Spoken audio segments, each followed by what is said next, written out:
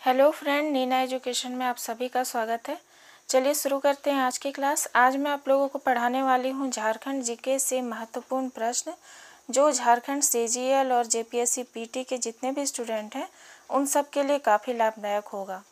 चूँकि सी के जो एग्ज़ाम होने वाले हैं, या ऐसे भी अन्य जितने भी प्रकार के एग्ज़ाम होते हैं झारखंड के क्षेत्र में तो उससे आप लोगों को सामान्य अध्ययन झारखंड सामान्य अध्ययन, सामान्य विज्ञान और कंप्यूटर, इन सबसे प्रश्न पूछे ही जाते हैं। ये सी जी एल उन्नीस के पीटी का सिलेबस मैंने लिया है और इसके अलावा करंट अफेयर्स से प्रश्न पूछे जाते हैं।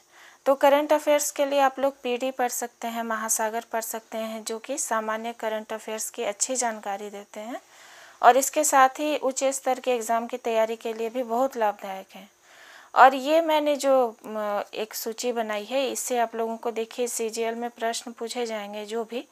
झारखंड सामान्य ज्ञान से तीस प्रश्न, सामान्य अध्ययन के चालीस प्रश्न, सामान्य विज्ञान के बीस प्रश्न और कंप्यूटर के बीस प्रश्न। इसके अलावा रीजनिंग से भी प्रश्न आएँगे और मैथ से भी प्रश्न आएँगे। तो रीजनिंग और मैथ आप लोग अपने अलग माध्यम से अपनी तैयारी कर सकते हैं। जो भी आप लोगों के लिए सुटेबल हो, आप कर सकते हैं। और मेरे चैनल पे मैं इन सभी का एक एक क्लास कोशिश करूँगी कि वीक में दो दो दिन करके दूँ। तो जैसे झारखंड सामान्य अध्ययन तो जैसे मैं ये चाह रही थी कि मैंने भी फॉर्म भरा हुआ है इस एग्ज़ाम के लिए तो हर विषय को पढ़ना ज़रूरी है। ऐसा नहीं कि सिर्फ़ झारखंड पढ़ने से सब कुछ हो जाएगा, या फिर केवल विज्ञान पढ़ेंगे तो हो जाएगा। हम लोगों को हर विषय पे फोकस देना होगा। हाँ ये अलग बात है कि कुछ विषय जिसमें अधिक मार्क्स हैं, उस पर ज़्यादा फोकस करना होगा। तो मैंने ये सोचा है कि झारखंड सामान्य अध्ययन जनरल जो सामान्य अध्ययन है, जीएस पेपर, सामान्य विज्ञान, जिससे बीस प्रश्न आएँगे, और कंप्यूटर। तो मेरे पास काफ़ी सारे बुक्स हैं जि जो कि इन्हीं सब एग्ज़ाम से रिलेटेड हैं। मैं काफ़ी टाइम से पढ़ भी रही हूँ। तो उससे वस्तुनिष्ठ प्रकाश प्रकार के प्रश्नों को मैं एकत्रित करूँगी और हर विषय से आप लोगों को क्लासेस दिया करूँगी। जैसे आज की क्लास में मैंने सामान्य झारखंड सामान्य अध्ययन लिया है। तो इसमें वैसे ही प्रश्न होंगे जो कि ऑब्जेक्टिव के रूप में होंगे। प्लस ये प्रीवियस ईयर में आए हुए प्रश्न भी होंगे। तो ज़्यादातर एसएससी में जो एग्ज़ाम होते हैं, वो पिछले ईयर्स के क्वेश्चन को अगर आप देखें तो बहुत सारे प्रश्न रिपीट होते हैं। तो मैंने डिटेल से भी बहुत सारी क्लासेस दी हैं, आप लोग उसको भी देख सकते हैं। और सीजीएल के लिए ये स्पेशल सीजीएल और जेपीएससी के जितना भी, जितने भी पीटी के स्टूडेंट हैं, उन सब के लिए इस प्रकार से पढ़ना काफ़ी लाभदायक होगा। कॉन्सेप्ट के लिए डिटेल की क्लासेस आप लोग पढ़ें, मैं अलग से वो क्लासेस भी कंटिन्यू रखूँगी। और इस तरह से बताने से आप लोगों को बहुत अच्छा फ़ायदा होने वाला है। तो इसलिए मैंने ये सोचा है कि दो दो दिन करके मैं झारखंड जी के सामान्य अध्ययन, सामान्य विज्ञान और कंप्यूटर के वैसे सभी प्रश्नों को आप लोगों के लिए लेकर आऊँ, जो अलग अलग एग्ज़ाम में पूछे गए हैं। ज़्यादातर जो एसएससी एग्ज़ाम लेती है या जेपीएससी एग्ज़ाम लेती है, उसमें जितने भी ऑब्जेक्टिव रूप में प्रश्न पूछे गए हैं, उन सभी को कलेक्ट करके आप लोगों के लिए लेकर आऊँ ताकि आप लोगों को ये पता चल सके कि किसी भी चैप्टर से किस प्रकार के प्रश्न ज़्यादा पूछे जाते हैं, क्योंकि रिपीटेशन काफ़ी होता है। तो इसलिए आज की क्लास में बहुत सारे प्रश्न मैं आप लोगों के लिए लेकर आई हूँ। तो चलिए देखते हैं। तो मैं यही बताना चाह रही थी कि इन चारों विषयों से प्रश्न मैं आप लोगों को दूँगी ताकि मेरे द्वारा हर विषय में आप लोगों को कुछ ना कुछ मटेरियल उपलब्ध रहे पढ़ने के लिए। तो आप लोगों को लाभ मिलेगा। आज की क्लास में हम लोग झारखंड जीके से कुछ महत्वपूर्ण प्रश्न देखेंगे, जो प्रीवियस ईयर के सचिवालय के एग्ज़ाम में ही आए हुए हैं।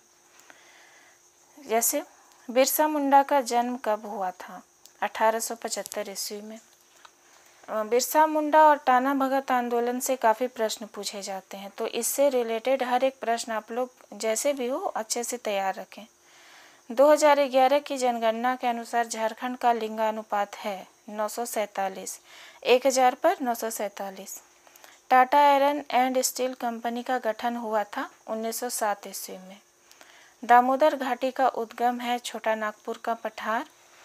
रामगढ़ कांग्रेस अधिवेशन कब हुआ था? ये पूछे हुए प्रश्न है। जितने भी प्रश्न मैं आप लोगों को करा रही हूँ, ये सभी एग्ज़ाम में पूछे हुए प्रश्न हैं। और काफ़ी ये जितने भी टॉपिक हैं जिससे रिलेटेड ये प्रश्न हैं उन, उस टॉपिक का ये सब काफ़ी महत्वपूर्ण प्रश्न है, इसलिए ये सब बार बार पूछा जाता है। रामगढ़ कांग्रेस अधिवेशन 1940 ईस्वी में हुआ था। झारखंड की जनजातियों के सामाजिक आर्थिक विकास के लिए वह किस वर्ष छोटा नागपुर उन्नति समाज का आरंभ हुआ? छोटा नागपुर उन्नति समाज का आरंभ जनजातियों के, जो झारखंड की जनजातियाँ हैं, उसके सामाजिक आर्थिक विकास के लिए हुआ 1915 ईस्वी में। जादूगोड़ा किस खनिज के लिए प्रसिद्ध है? तो यूरेनियम। यूरेनियम की खान जो जादू घोड़ा में है, वो पूरे वर्ल्ड में फ़ेमस है। झरिया की खान किस राज्य में है? तो झरिया कोयले में कोयले की खान है और ये झारखंड में है। काफ़ी प्रसिद्ध है ये और अभी के समय में बहुत ज़्यादा खतरनाक स्थिति में भी है। ताना भगत आंदोलन कब आरंभ हुआ? 1913-14 ईस्वी में ताना भगत आंदोलन 1913-14 ईस्वी। झारखंड में अठारह सौ पंचानवे ईस्वी में कौन सा विद्रोह हुआ था? बिरसा मुंडा विद्रोह। बिरसा मुंडा विद्रोह अठारह सौ पंचानबे ईस्वी में हुआ था। झारखंड के कुल कितने प्रतिशत क्षेत्र, वन क्षेत्र हैं? झारखंड की जो भूमि है उसके उनतीस दशमलव छः एक प्रतिशत भाग पर वन है। वन आच्छादन का जो प्रतिशत है, वो उनतीस दशमलव छः एक प्रतिशत है। कौन सी भाषाओं का समूह द्रविड़ परिवार से संबंधित है? तो बहुत सारी भाषाएँ हैं झारखंड के क्षेत्र में जनजातियों की। तो उराव और पहाड़िया जनजाति की जो भाषा है, वो द्रविड़ परिवार से संबंधित भाषा है।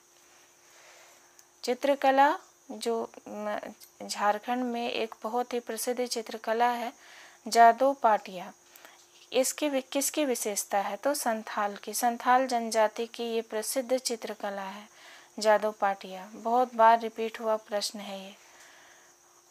उन्नीस सौ नवासी में महाश्वेता देवी द्वारा रचित साहित्य अकादमी पुरस्कार से पुरस्कृत ऐतिहासिक उपन्यास अरण्येर अधिकार। इसका अर्थ होता है जंगल अधिकार जंगल का अधिकार 1977 ये एक पुस्तक उपन्यास है। किसके जीवन पर आधारित है? महाश्वेता देवी ने एक उपन्यास लिखा था, अरण्येर अधिकार। और इसे साहित्य साहित्य अकादमी पुरस्कार से भी सम्मानित किया गया था। ये बिरसा मुंडा के जीवन पर आधारित उपन्यास है। झारखंड के किस ज़िले में बाघों के लिए संरक्षित वन है? तो पलामू में। पलामू ज़िले में बाघों के लिए संरक्षित वन है। अगला प्रश्न है, गाँव, झारखंड में गाँवों की संख्या है। झारखंड में कितने हैं? गाँव कितने हैं? बत्तीस हज़ार छः सौ बीस। झारखंड में कितने संसद के सदस्य हैं? संसद में दो सदन होते हैं, हम सभी जानते हैं, उच्च सदन, निम्न सदन। दोनों सदनों को मिलाकर सदस्य संख्या 20 है। झारखंड के किस ज़िले को भारत की अब्रख राजधानी कहा जाता है? भारत की अब्रख राजधानी कोडरमा को कहा जाता है।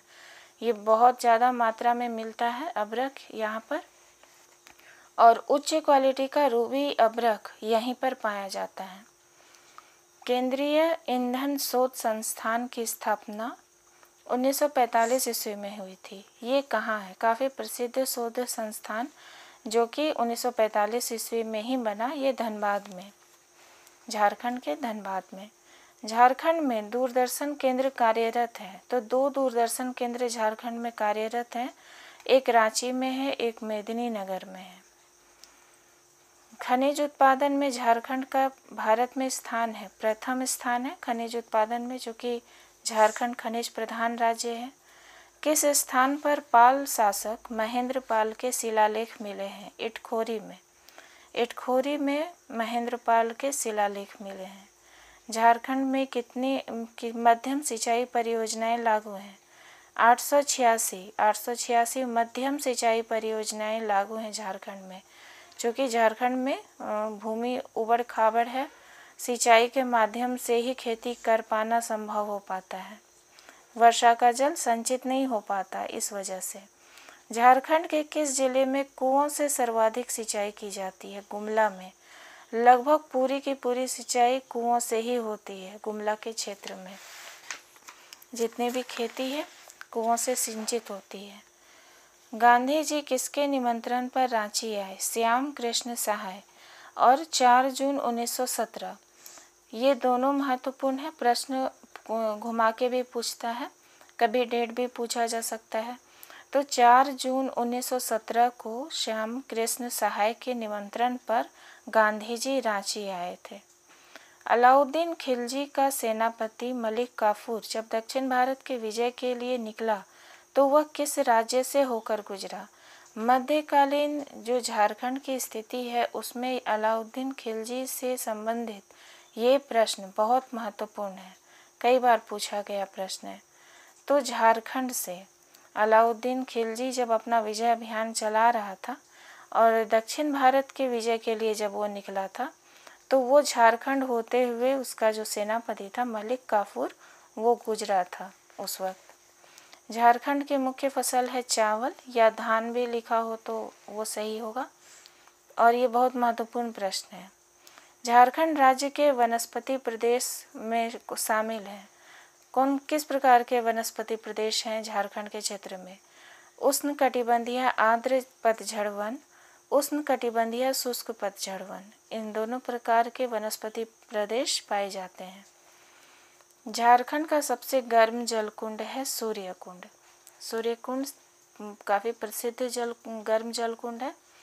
झारखंड सरकार को सर्वाधिक आय किससे प्राप्त होता है? कौन से क्षेत्र से सर्वाधिक आय प्राप्त होती है झारखंड सरकार को? वाणिज्य कर से।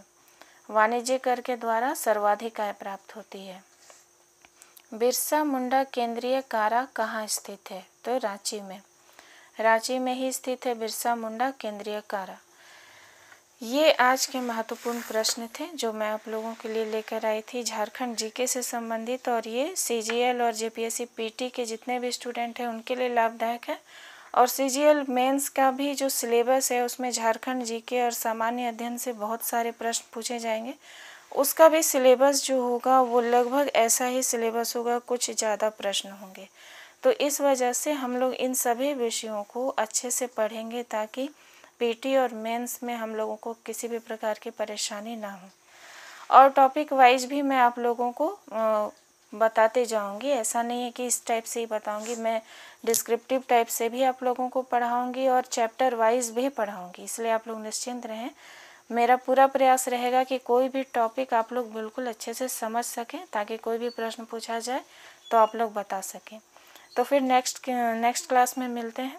आप लोग अपने सुझाव अवश्य दें। आप बताएँ ज़रूर कि क्लास कैसी लगी आप लोगों को और किसी प्रकार का आप लोगों का प्रश्न हो तो वो भी कमेंट के माध्यम से पूछ सकते हैं। चैनल को ज़रूर सब्सक्राइब करके रखें और अपने फ्रेंड्स में ज़रूर शेयर करें। धन्यवाद।